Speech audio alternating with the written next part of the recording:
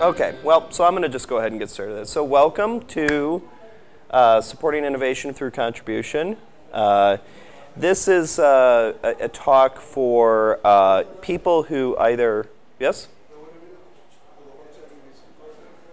It is recording. We're all a minute to start. Okay, so I am not going to start yet, but welcome to the session. Okay.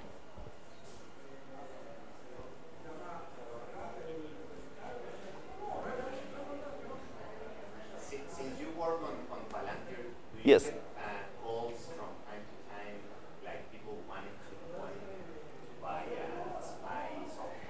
We get some confusion? Yeah, that's a different company, uh, and, uh, it, and and we were around first. We had the name first, and uh, and yeah, so so we're the Palantir that makes open source websites, and they're a Silicon Valley startup that does other things, and uh, yeah, but. Um, yeah, we, we, we do occasionally uh, get emails for them. They occasionally get emails for us, and we're usually able to sort it out and make sure that uh, people don't get too mixed up.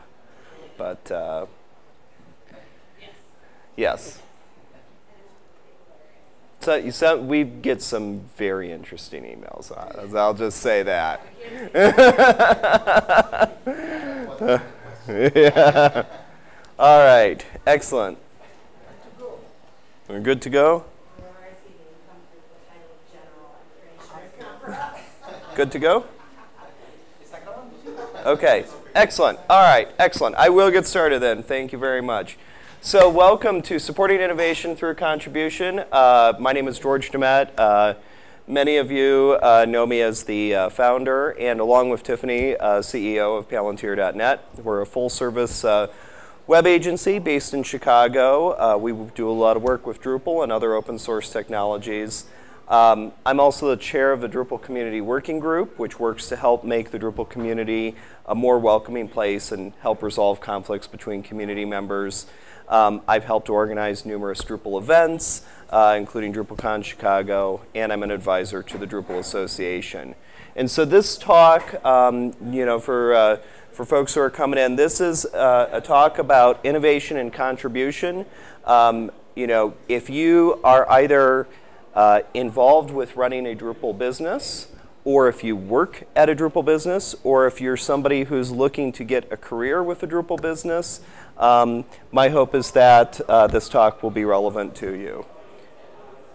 So I want to start off today by talking about some, how some of the world's tallest buildings and how they've been built. Uh, much is the way that we've approached construction uh, and how it's changed over time, so is the way that we approach building websites. So for most of recorded human history, our largest structures were built simply by piling huge stones on top of each other, right? So the Great Pyramid of Giza was built by thousands of laborers over a period of 10 to 20 years and completed around 2560 BC.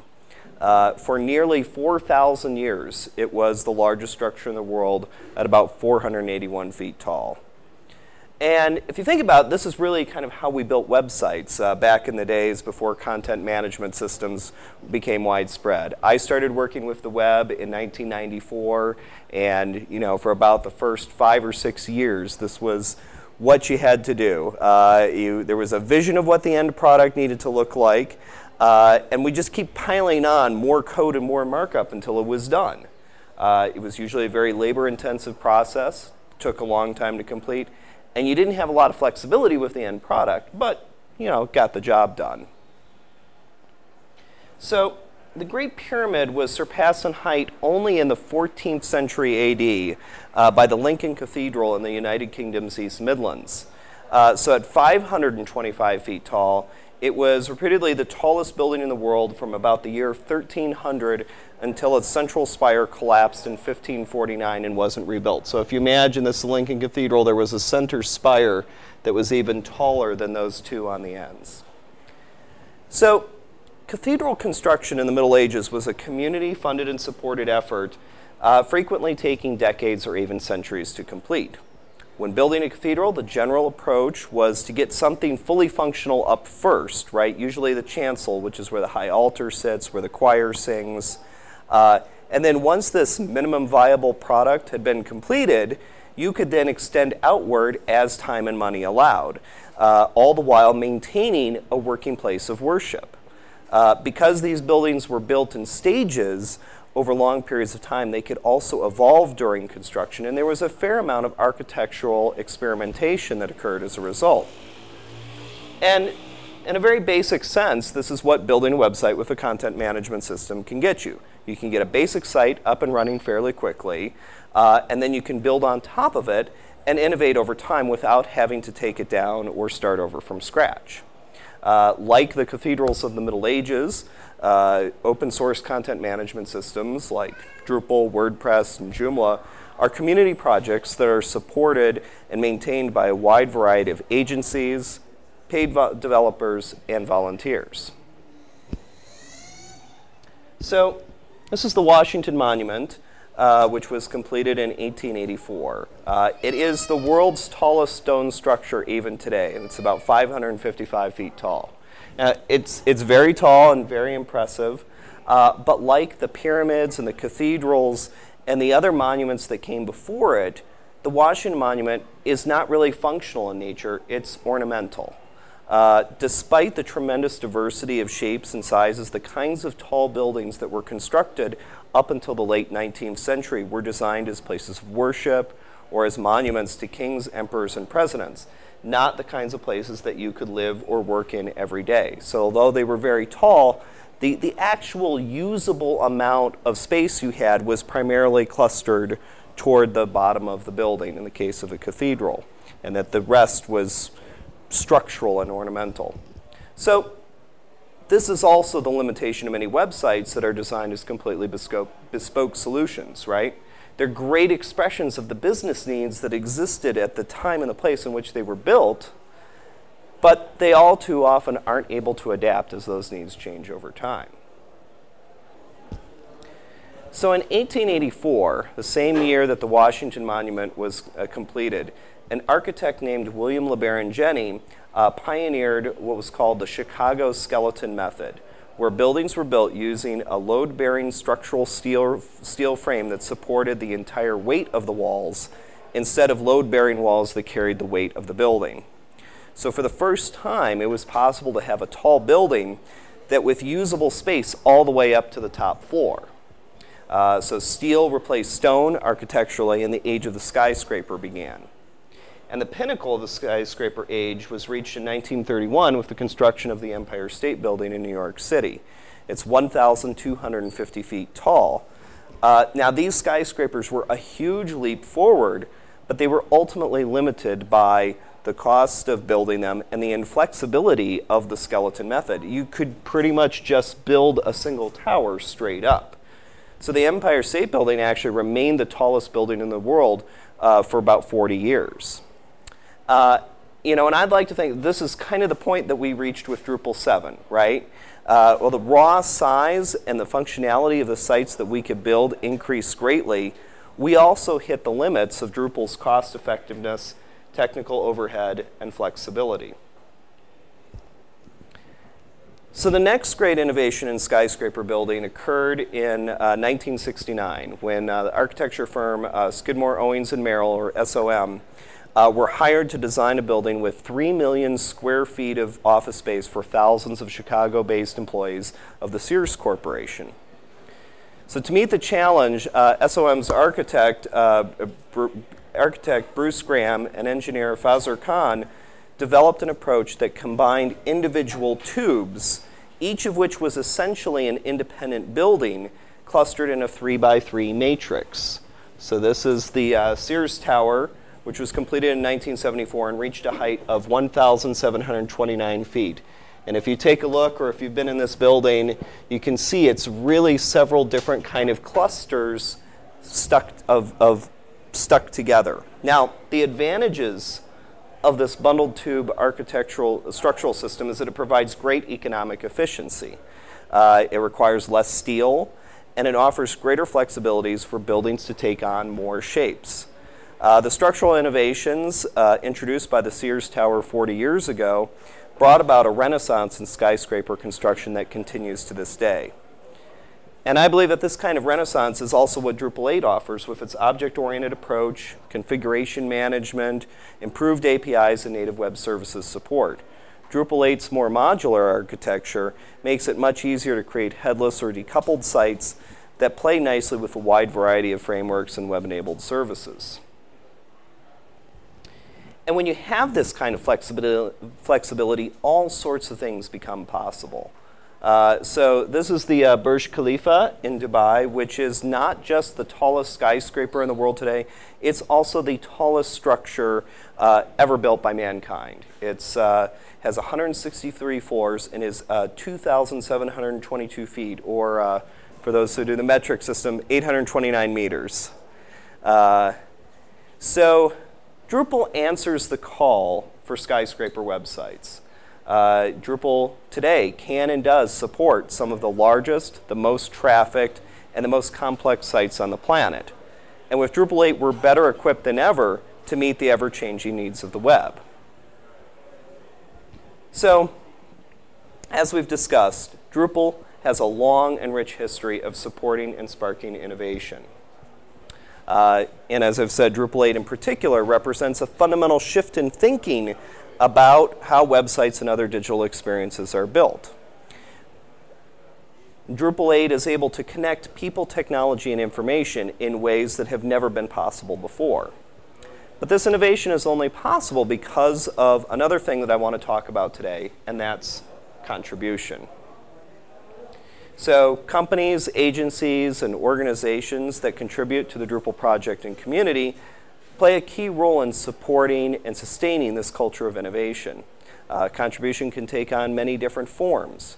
Uh, setting aside time for employees to contribute to the Drupal project and community, uh, sponsoring uh, people to work exclusively on Drupal, uh, and donating money, of course, to sponsor Drupal initiatives and events.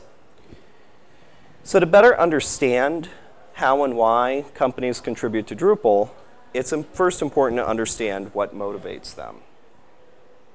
So first and foremost, what drives most companies is their bottom line, right? Most companies need to either make a profit, to uh, either make a profit or reach certain revenue or growth targets in order to remain in business.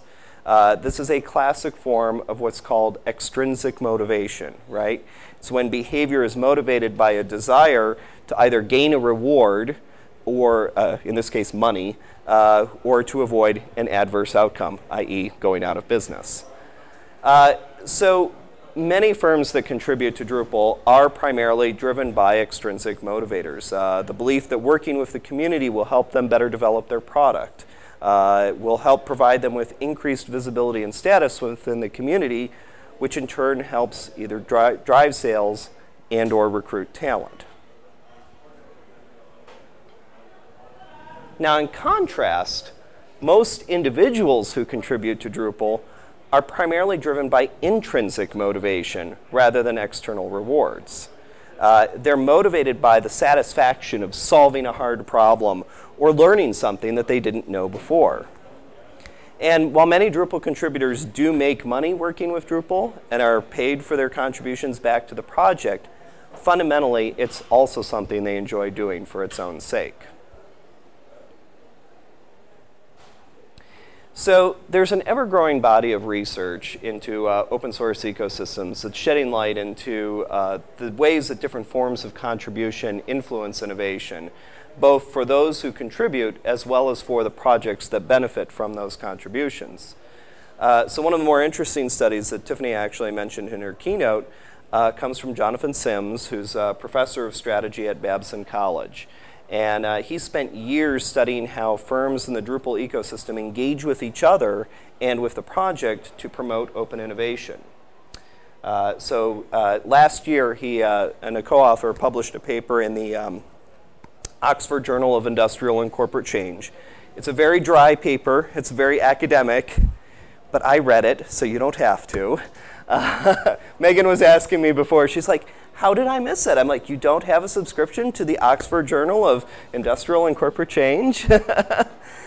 uh, so in this, in this paper, he found that uh, while the impacts of open source contribution on company productivity are usually marginal, uh, overall contribution does help expand a firm's social ties and can also help shift strategic, uh, uh, strategic posture and promote innovation. So uh, he draws a distinction between those who contribute intellectual property or code to the project um, and those who contribute help or other types of community support to the project. And while and he found that while contributing code is associated with stronger social ties and more incremental innovations, providing help or support is associated with a more conservative strategic posture, but more radical innovation. And so, what this means is that firms that primarily contribute code to projects like Drupal are more likely to be building on top of uh, work that someone else has done or collaborating with someone else to solve a shared problem. Uh, providing help, on the other hand, is much more context dependent and is more likely to lead to new questions and possible new insights, which in turn provides more opportunities for radical innovation within a particular domain. Now, regardless of what form contribution takes, participating in an open source ecosystem like Drupal requires that firms be open and willing to share their knowledge and intellectual property with others.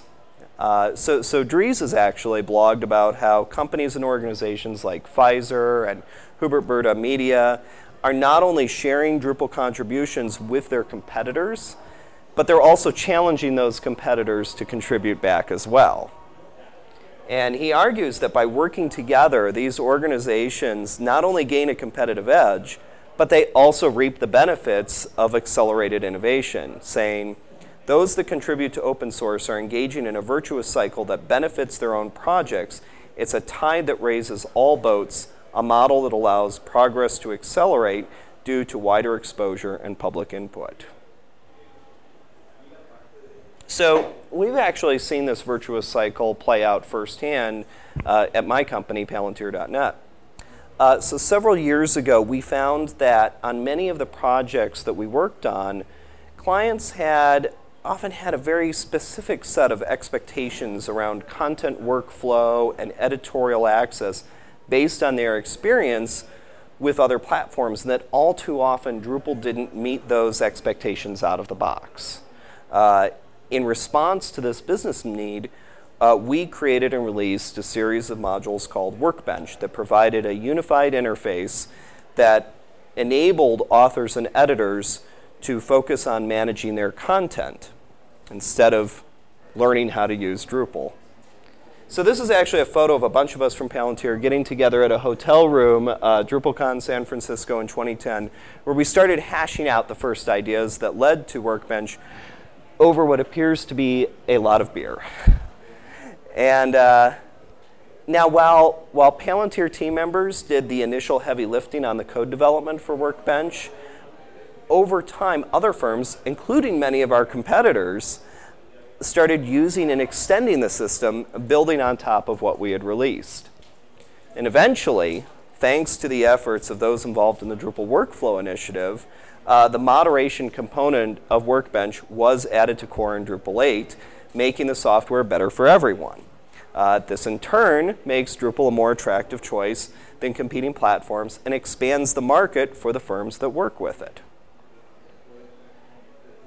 Now, as we talked about earlier, right, individuals are more likely to be driven by intrinsic motivators to contribute to open source projects. In addition to the personal satisfaction that they might receive, participating in the Drupal community also enables them to feel like they're, they're something, part of something much bigger than themselves. And they can form social ties with other people who also want to see their contributions make a difference in the world. This obviously is DrupalCon New Orleans. so, one problem is that despite the large number of individual contributors to the Drupal project, there's only a very small number who do the majority of the work from a code contribution perspective. So um, you've probably, if you've been to sessions like this before, seen charts uh, that, that uh, talk about the long tail of contribution.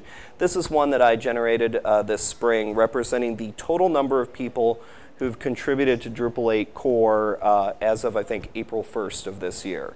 So there were almost 4,000 people overall who were uh, responsible for uh, various core commits. The vast majority were done only by a couple hundred people. And, and in fact, there was one person alone who you can't even really see on this chart, who was responsible for almost 2,000 commits. Uh, so yeah, this is the classic long tail of contribution. And so when, you know, people show charts like this, they're like, oh, well, what about contrib? Maybe, maybe, maybe it looks a little bit better with contrib, right?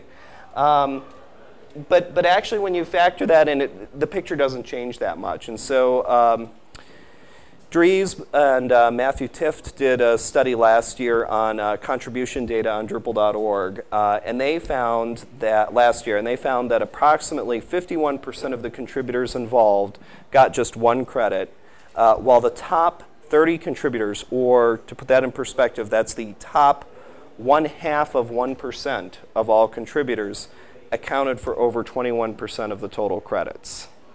So that is a lot of work being done by a very small number of people. So one likely reason for this imbalance is Drupal's reputation for having a very steep learning curve, right? So uh, back in 2014, uh, the Drupal Association um, hired uh, Whitney Hess to do some uh, user research for Drupal.org. And, um, and, and the results of that work were that uh, while the project is really good at onboarding people at the entry level of engagement, the newcomer level, the newbie level, the transition to higher levels is much more challenging. It's where a lot of people end up dropping out of the project. I've had some conversations with folks about this here at this camp. So providing resources and support to help more people move up the contribution ladder helps spread the burden across more shoulders and thus flattens out the pyramid. So, and again, introducing new perspectives and reducing burnout, particularly within the core developer community. Um, you know, as part of uh, our work with the community working group, we interviewed a whole lot of people, uh, you know, last year to kind of do a little bit of a, of a mini retrospective on their experiences with, with Drupal 8. And we heard this a lot, that there was a lot of pressure on a very small number of people, and a lot of people experienced burnout. That's something we can mitigate if we can expand the number of people who are able to work at that level. Having more engaged community members also helps mitigate one of the historical hurdles to Drupal adoption, which is the sh shortage of skilled developer talent.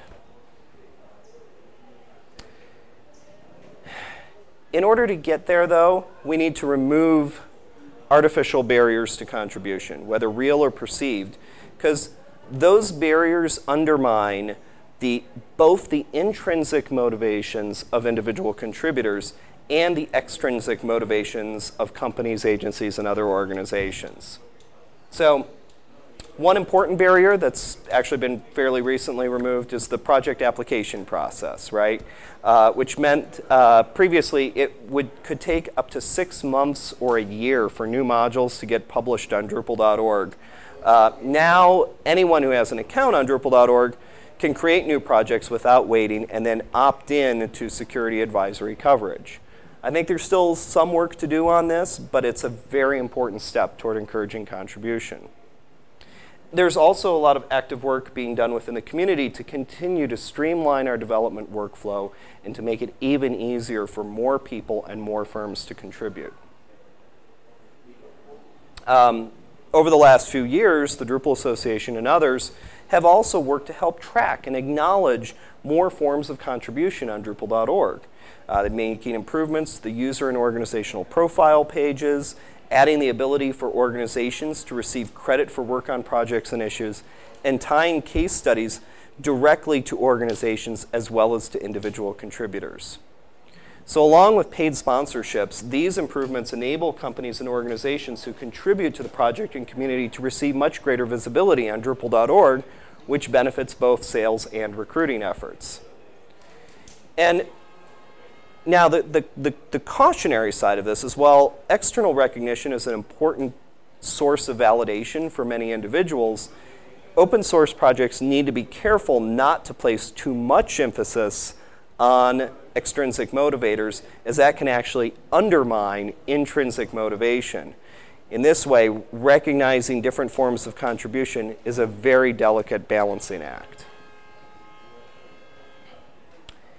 So we've been talking a lot about uh, code contribution, but there are lots of other forms of contribution, such as local event and user group uh, organization. There's writing documentation, providing mentorship. These things, these forms of contribution are much less easy to measure, but they're also critically important to the health of the project. So um, David Rozas, uh, he's a Drupal developer and a PhD student at the University of Surrey, presented a paper at DrupalCon Barcelona in 2015, uh, where he argued that these kinds of community-oriented contributions are actually more important to a project's long-term sustainability than code contributions because they're emotional experiences that help serve to strengthen the project's sense of community. So it also means that firms that are not in a position to contribute code to Drupal can contribute time and or money toward efforts that help promote the project and community. Uh, so for example, I mean, you know, Palantir as a firm, we're very involved in the Drupal community. We, we're, we're in a position where we have people who are able to contribute code, both you know, as part of their paid professional development, um, but who also just do it in their, in their off time as well. There are other firms that have you know, much higher billable utilization rates where people are expected to work a much higher percentage of their time on projects, which means that they don't have that freedom, they don't have that flexibility to contribute code. However, those kinds of firms can usually contribute money. And, um, and they can you know, contribute toward helping sponsor uh, local or regional events like Drupal camps, like what we're at, uh, or Drupal Association partnership programs, which Megan would really love for more folks to do. Uh, and, and, and these kinds of contributions and can actually have a greater impact on innovation than just code alone. So we've been thinking a lot about like these sort of issues, and I've been talking about with the other members of, uh, of the community working group and how we can really uh, try to, to help reduce some of these barriers to contribution in the community, how we can get more people involved and engaged. And two areas where we actually see a huge potential, particularly for firms to contribute uh, to promote innovation in the Drupal ecosystem, is by supporting community leadership training and mentorship programs. So because we've kind of historically looked at ourselves as a meritocracy, a lot of people have ended up in positions of responsibility in the Drupal community based on their ability to write good code. But that's often not enough, right? People who find themselves in positions of leadership or responsibility without sufficient uh, training or preparation or support from others often flounder. They can end up feeling overwhelmed or isolated because they actually don't have the skills to work with or to motivate other people.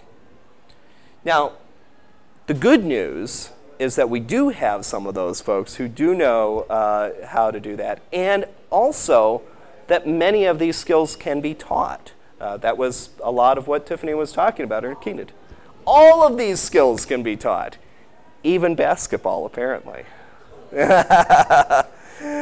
so what we need to do is we need to uh, help emerging leaders in our community develop skills like creative problem solving, conflict resolution, and consensus building so that they in turn can help others be successful. Now, one of the things we've been doing as we've been working through some of these issues in the community working group is talking with other projects to see how they tackle these kinds of uh, problems. Uh, and, and there's actually been some really great work done by Mozilla on developing a curriculum for community leadership training in an open source community context. And I'd really like to see Drupal be able to leverage some of that work. Uh, and if we can find a way to subsidize that training, this is also an opportunity for us to help enable talented people who might not otherwise have be able to afford to rise into leadership positions in our community instead of just relying on those who have the time and the resources. So this is a good way to get more different kinds of people into our community. We also need to focus our mentorship efforts not just on onboarding newcomers, people at that bottom level of the pyramid, but also helping them move up the skills pyramid. In an ideal world, we'd be able to provide mentors with the training and support that they need to pair up with high potential contributors for long term one on one mentorships and offer more non code mentoring opportunities for things like running community events. So, like imagine if Drupal Camp organizing teams uh, were able to get help from paid interns who would gain skills and experience that they could then in turn take back to help organize well-run events in their own local communities. I mean, that, that's good for everyone. So at Palantir, we've spent the last few years uh, focusing on growing talent instead of just hiring talent. Uh, many of the developers who we've hired over the last few years have come out of our paid internship program where we have college age people who work alongside other team members on real projects for real clients. Um, this program has not just helped uh, new hires gain knowledge and experience, but it's also helped some of the people who have been on our team for a long time learn and develop new skills while training others. Uh, it also means that we're able to hire from a more diverse pool of talent than we would have been able to otherwise. So, in the end, I believe that what has enabled Drupal to become a leading platform for digital innovation is not just the fact that it has one of the largest and most diverse communities of any open source project on the planet, but it also has a culture that supports and values contribution. But in order to keep that virtuous cycle going, it's vital for companies, organizations, and individuals that use Drupal to keep encouraging a culture of contribution. So, thank you. Uh, does anyone have any questions? Yes?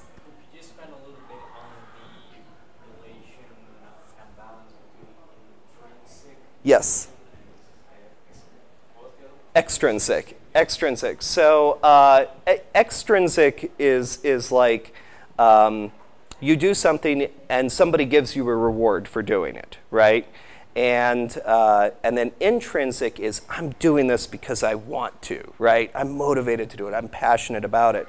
And, and it's that intrinsic motivation that drives people to be part of our project, that passion. They, like, they want to be part of this, this project. They want to they wanna solve problems. They want to learn new things. And that is incredibly valuable. Um, so that's what drives individual people, right? And, and there's a lot of firms and agencies that, that have that as part of their culture because they're made up of people who have this intrinsic motivation.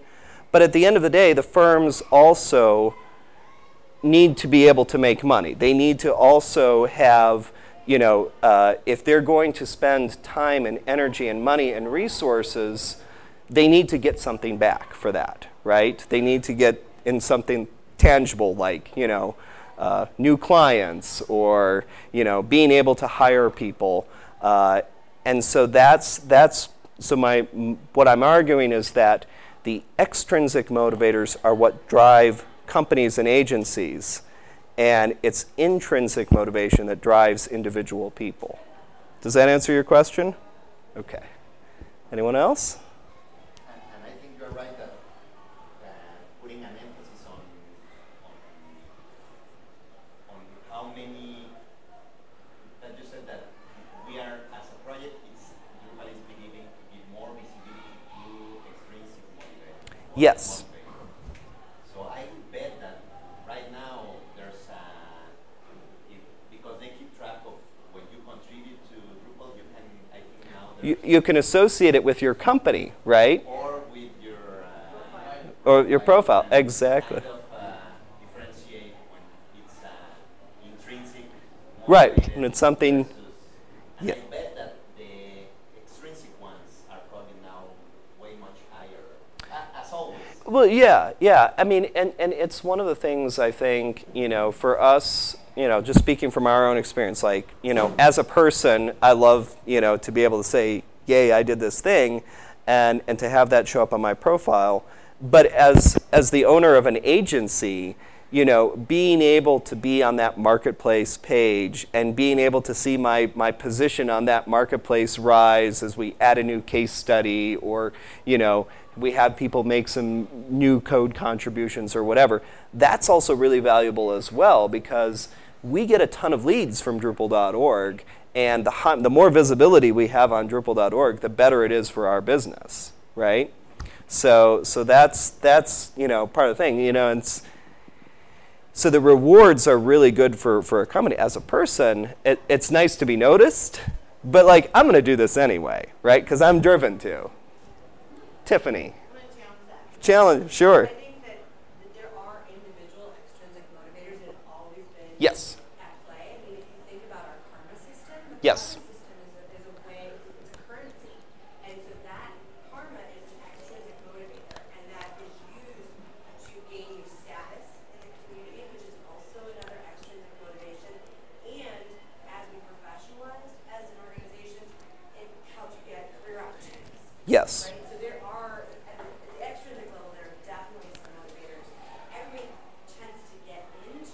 Yeah. open source, like to stay there for intrinsic reasons, but over time, Yes. You want to be. You want to be. It's it's it's it's it's recognition and it's validation, as I said earlier. So so I've actually had this conversation with with Angie Byron with webchick because there was we were talking a few years ago about whether whether we should. I mean, we have kind of an informal karma system right now, which is where, you know, if you're around and you make contributions and everything, like people start to kind of recognize who you are, and you you gain this sort of informal status that way, right? So one of the things we talked about is whether it made sense on Drupal.org to kind of formalize that for individual contributors that like, you know, if you made X number of contributions or whatever, you'd like gain a level, right? Like like a role-playing game or something. And she felt very strongly that that was a terrible, terrible idea because it just if if, if you're just doing this to level up, like, you know, to get the little, you know, Candy Crush or, or whatever it is, right? Like, like that saps your, that internal desire to grow and learn. So, yes, I would, I would, I would say validation, recognition is, is important, but people aren't, but it's, but it would be a mistake to, to make that something that, that people felt they needed to work for. right, to gamify it isn't a good idea. Right. But I do think that there is a hidden economy in Drupal. Yes. based Around karma, that makes it very, uh, opt-in, right, when someone's new to the community. Yep. Um, if, if you're new and they don't know who you are, they're not gonna talk to you, or they're gonna ignore your, your post in the issue queue. You're not gonna get taken seriously. So, you know, it is, it's one of those unwritten rules of our culture, how you gain that status, how you get that, how you get people to Yeah. be like, oh yeah, no, no, you've got a great idea, let's talk about that, you know? So, so yeah, let's get some other hands up. Yeah. I work in gamification and corporate gamification, and we, what we learned is that intrinsic or extrinsic motivations come from the agent flow. hmm And there are some people that is motivated intrinsically, and there's people, and you can play Yeah. their their switches, but it comes pretty much to people nurturing early age stuff. So what I will advise is having a side site, not Drupal.org. Right. We can play a site that is like a game. People get badges, people get Right. stuff like that. And just just last night we were talking about that. I tried at uh, open source, but not software, more like open knowledge. Um, you know these pyramids like uh, Ponzi schemes, like Mhm. Herbalife and stuff. Yeah. Yeah. Joining that to free knowledge. Oh my. That you no, no, it's, it's, it's a nice idea. You just gave us a lecture. Yeah. So our compromise is to give that hour back Yeah. to our organization. Right. We can do it like cleaning the, the place or giving more lectures or stuff. But the, there is this this covenant Right. where, where I co- commit to give it back. Pay it. Pay it forward. Yes. Pay it forward. Yeah. That, so that's there's a um, there was there, there it was a it was a book a few years back and a movie and everything. And so the idea is if if if someone if someone if someone does a good deed for you, then you turn around and do a good deed for someone else. Right. And if we can mix that with Yeah. gamification inside, something that is very big because I've been in the early training of Drupal, like with people that doesn't know how to use a computer, and and it, it works. And the thing is that the people who knows is often too busy to deal with the people who doesn't. Right. So all the newcomers, uh, usually they only have these Stack Overflow answers, and most of them are plain wrong. and, and the worst case is when they're almost right, because those those are going to cost the person like a month to realize Yeah. what was that difference between do and don't. So so the problem is that we don't have these vertical relationships Right. we have like levels. And until you really know how to read a model and understand what it's doing, you're like fine. Yeah. And there's we're losing we're losing a lot of people and contributors, people who knows how to code, who likes Drupal, but but they're just in the, in the sea of nothing. Right. They're not they're not getting the support, they're not getting the recognition. They don't know like where to go or who to talk to and and, and some sort of in some way, I mean, and so I'm I'm thinking about it from the mentorship side that, you know, we can we can help provide those people with, you know, a place to go to talk to someone be like, how, how do I get heard? Do I- Like the Springs um, yeah, like it's, it, a great, great idea. it's and that works, but that only works for people who go to camps. Yeah. Have you seen Mustard Seed Media? Have, have seen mustard seed? Yeah, mustard seed media. There's The- a yeah, guy who is Mhm. not a coder. Yep. He, he does something different that we do on, on Drupal.org. That he doesn't answer a specific error. He instead answers a need. And that's Mhm. something Drupal.org doesn't have. right. Like re- recipes in humans, in human language, where, where I, I can read by subject what I want to achieve with this model, because often you don't know what you want to get until you realize there's a model for that. Right. Oh, this is the I can build. Oh my God, I've lived so long with all this stuff. Yep. Even if Mike doesn't like it, it's still good. You had a hand. Yes.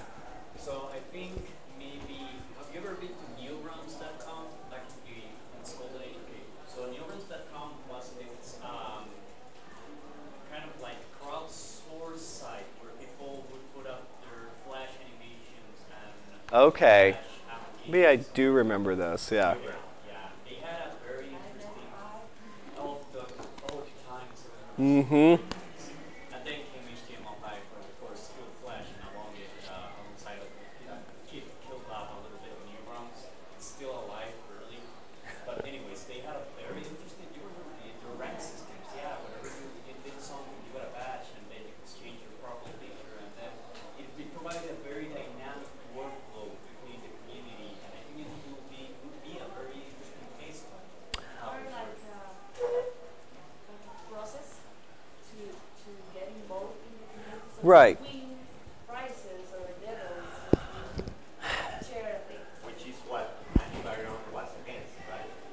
Yeah. You said that it's not. Yeah. That, yeah.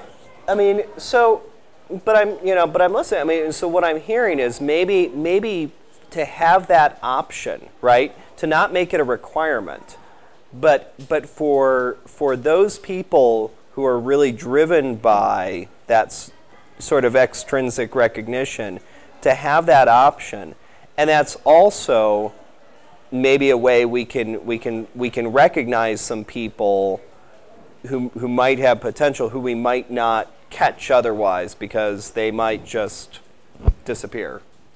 Yes. I think it would be somewhat a mistake to rely too much on the intrinsic. I understand that the concept that for an individual, intrinsic motivation is what gives you general satisfaction in your life. And, and Drupal is a somewhat, um, like, I'm just trying to be a good thing for the world because we're open source. But only somewhat because it is also an income source for a great many That's right. So, I mean, to expect people to intrinsically be motivated to too high a degree, yes, they're intrinsically motivated to have a good life, to be kind to their neighbors, to be kind to their neighbor on the computer, on the, you know, Drupal site, but they're also trying to get over that bar, learn what they need to learn so that they can earn money Get a good job, all those things. Yeah. you have to also recognize that Drupal is by nature somewhat of an ex- extrinsic motivated thing because people work in this. That's right. It's their bread and butter. No question. And and and so and so yes. No question. I mean, that's how I make my living. That's how uh, most people in this room make their living, right? Is is through Drupal. And and and you are able to, you know, get a better job by, you know, getting better at Drupal. Right. Or, or something like it gives people, because I think it's really hard, because my husband works in this, he's like, you know, he's really smart. He's Right. something big. And I'm like, you know, I'd like to learn a little or something. I'm not dumb. But this bar is like way up here, you know? Right. To be able to give those people that are not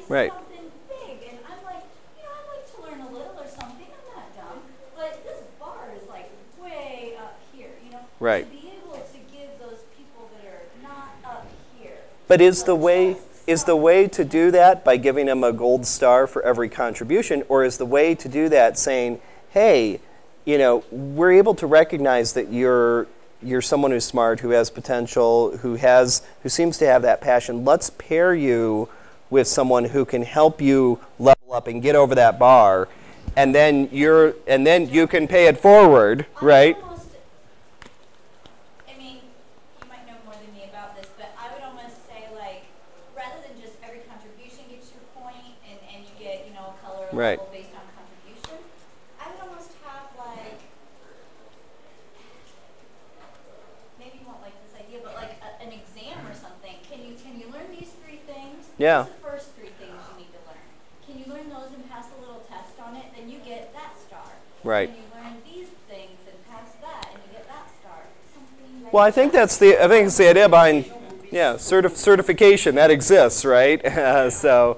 No, no, I, I was gonna say that uh, a long time ago with Fernando, yeah, We were talking about something similar to that we were talking about something similar to that. I do martial arts. And we were talking about kind of creating a curriculum. Like a Like belt you create in or mar- something yeah, like like you that. do with martial arts. right. There have been the belts, but the approach in martial arts is white belt has a specific curriculum.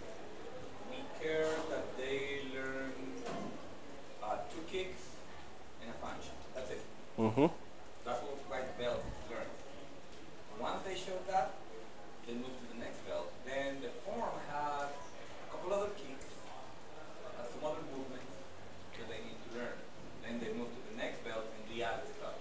So it's But everything- you're saying, You, you create a Right. curriculum that is, um, what's the word? Progressive, progressive ed builds on top of. I mean, that I would love to see, right? So, you know, so so it's it's, you know, so yeah. I mean, right? We are free to do it. Yeah, We don't need a structure who said, no, you have to make a resume or, no, just do it. If you want to do it, we do it. Yeah, The reason I have We can ask someone else, please, show a structure where I can uh, see a Drupal ladder and so, no, okay, please do it. The reason I haven't started is because I have done so much projects nobody used. right. I want to start a project if I am not partnered with someone who can push it. That makes Because sense. If that's only me, nobody will use it. It's Right. It will have a lot of potential. Sounds like you're intrinsically motivated to do this. so I hand back there. Yeah. A couple of comments about discussions and then a question that I have. So this last rail thing Yeah. already exists. It's called a Drupal ladder. Yep. And this ties with what I'm going to ask next. Like DrupalLadder.com was a separate website, was a really good initiative. It has like a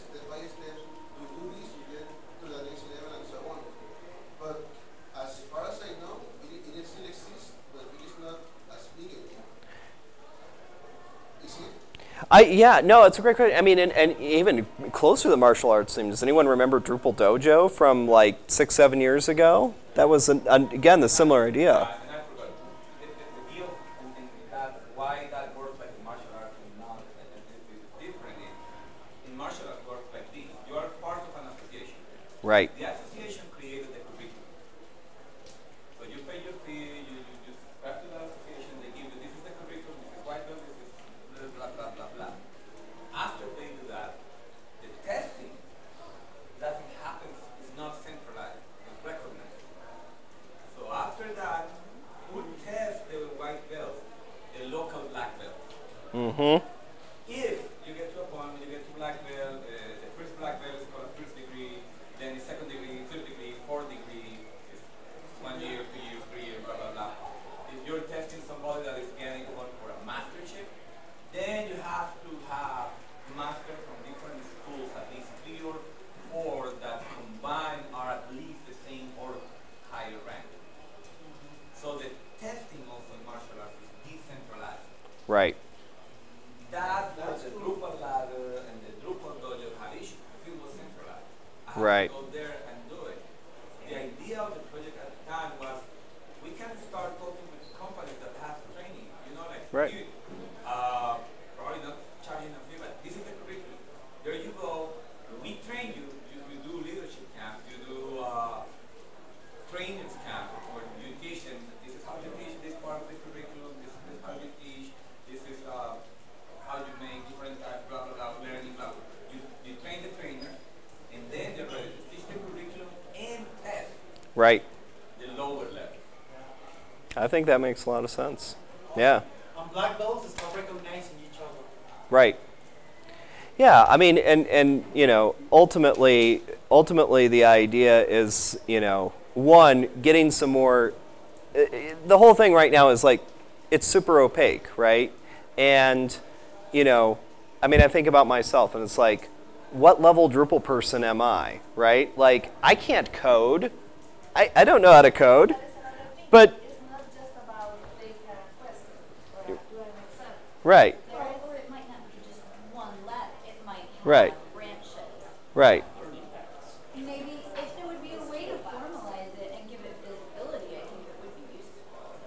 Yeah, I mean, I yeah, and and uh, it, you know, but but really about just making it more transparent, like how one, you know, how one learns, how one can learn, you know, and and you know, so we can recognize because I think you know one of the issues we have is we don't have a great way right now to recognize and foster leadership in our community. We have people who, you know, who are leaders in our community. A lot of them have been leaders for a long time, you know, but there's no great way of like recognizing like, wow, like that person has a lot of really it's it's random, it's chance. It's, you know, that person is in the right place at the right time and they did said or did the right thing and they, you know, we need we can change that and and make it easier for more people to be recognized and for more people to become, you know, part of our community, to rise in our community, to become leaders in our community. And,